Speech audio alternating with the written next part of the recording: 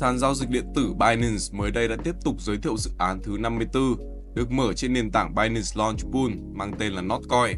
Sau những dự án đình đám như Renzo, Omni Network, Saga, Notcoin là một tựa game tài chính phi tập trung hay còn gọi là GameFi, được xây dựng trên hệ sinh thái chăn và tích hợp sẵn vào ứng dụng Telegram, nền tảng nhắn tin phổ biến top 1 đối với cộng đồng đầu tư crypto. Notcoin chủ yếu tập trung vào mô hình Tap to Earn, tức là người chơi chỉ cần chạm vào màn hình để đào coin. Sau đó, nhà phát hành sẽ phân phối các phần thưởng dựa trên số lượng coin mà người dùng tap được trong trò chơi. Notcoin được xem là một GameFi hoạt động dựa trên cơ chế free to earn. Điều này có nghĩa là các nhà đầu tư không phải bỏ ra bất kỳ nguồn tài chính nào để tham gia dự án. Họ chỉ cần mở Notcoin dưới dạng mini app trên nền tảng Telegram để bắt đầu đào coin. Ngoài ra thì Notcoin cũng đã thêm một vài tính năng giúp việc đào coin trở nên dễ dàng và nhanh hơn. Trong đó, người dùng có thể tham gia vào các group trên game để hợp tác với người chơi khác hoặc sử dụng booster tăng tốc độ đào khi đạt đến một ngưỡng nhất định. Hơn nữa, Time Blockchain được xem là một trong những hệ sinh thái siêu hot kể từ cuối năm 2023 với total value lock tăng trưởng hơn 40 lần theo thống kê của DeFi Lama. Đây cũng là một động lực góp phần giúp Notcoin thu hút sự chú ý từ cộng đồng khi được xây dựng và phát triển trên blockchain Tan. Sau đây là thông tin chi tiết về Binance Launch Pool số 54, dự án Notcoin với token là NOT. Người dùng có thể stake BNB và FDUSD vào các pool riêng biệt để farm token NOT trong 3 ngày, bắt đầu từ ngày 13 tháng 5 năm 2024 vào lúc 7 giờ sáng giờ Việt Nam. Sau đó, Binance sẽ niêm yết NOT vào 19 giờ ngày 16 tháng 4 theo giờ Việt Nam. SITAC cũng sẽ được áp dụng cho NOT. Một số thông tin về token NOT của dự án Notcoin như sau. Tên token là NOT, NOT. Tổng cung tối đa là 102 tỷ NOT. Launch pool reward khoảng hơn 3 tỷ NOT, tương đương 3% tổng cung. Nguồn cung ban đầu khoảng hơn 102 tỷ NOT, tương đương 100% tổng cung. Điều kiện để stake thì yêu cầu gây YC, giới hạn farm tối đa với mỗi người dùng mỗi giờ là 3,6 triệu NOT trong pool BNB và 641.000 NOT trong pool FDUSD.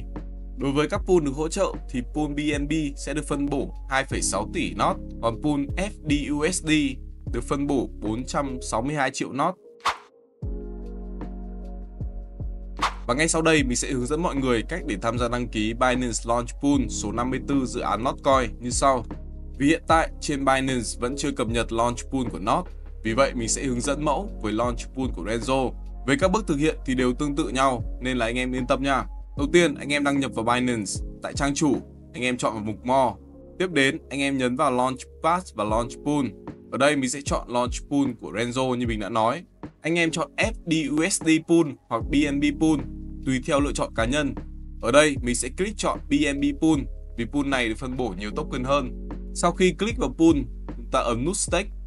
Sau đó nhập lượng BNB anh em muốn stake để tham gia Launch Pool này các dự án launch pool thì anh em cứ nhập tối đa lượng BNB đang có, chỉ cần để một ít lại làm phí giao dịch trên sàn thôi nhá. Vì farm qua launch pool sẽ không lỗ được đâu. Nhập số lượng BNB và bấm nút stake bên dưới để xác nhận số lượng. Nếu anh em muốn ngừng stake thì chỉ cần nhập số lượng và nhấn redeem là xong. Để nhận phần thưởng từ launch pool, hãy nhấn vào claim reward. Phần thưởng sẽ tự động được chuyển về ví spot. Vậy là anh em đăng ký thành công launch pool dự án Notcoin chỉ với vài bước cực kỳ đơn giản. Trên đây là toàn bộ thông tin về dự án Launch Pool số 54 của Binance mang tên Notcoin, cũng như là cách thức đăng ký tham gia Launch Pool để farm token Not và nhận phần thưởng. Notcoin đã thực sự thành công trong việc thu hút sự chú ý từ cộng đồng crypto. Chỉ trong vài tuần ra mắt, dự án đã thu hút hàng trăm triệu người chơi.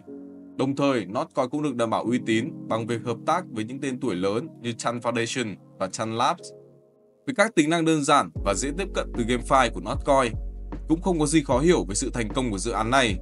Bên cạnh đó, đặc điểm thu hút nhất của Notcoin có lẽ đến từ sự miễn phí, free to earn, khi các nhà đầu tư chẳng mất bất kỳ nguồn tài chính nào để tham gia. Anh em có đánh giá như thế nào về dự án Notcoin? Hãy để lại comment phía bên dưới để cộng đồng chơi coi VN được biết nhé. Cảm ơn các bạn đã xem hết video và đừng quên nhấn like, subscribe cũng như là bấm chuông thông báo để không bỏ lỡ bất kỳ video nào của chơi coi VN nhé. Còn bây giờ xin chào và hẹn gặp lại.